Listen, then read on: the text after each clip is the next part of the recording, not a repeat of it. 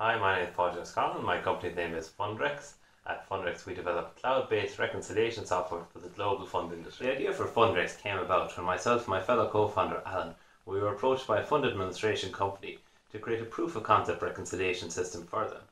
Alan's background is in funds, mine is in IT, so we're ideally suited to create this proof of concept. We got fantastic feedback on our proof of concept, so after that we sat down to discuss our options and to see if we had a potential business. With a bit of research, we discovered that the product we'd create with a proof of concept would either match on or improve on the existing solutions. So since then, we've been working hard on FundRecs to make it a market leader.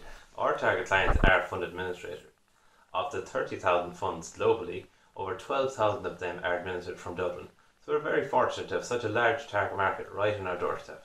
We have a very simple and transparent pricing model. Our clients pay per fund per month. Since it's a cloud-based solution, there are no setup, no support and no maintenance fees. Our clients only pay for the funds that are live on the system. Our goal at FundRecs is to become the number one provider of cloud-based reconciliation software for the global fund industry.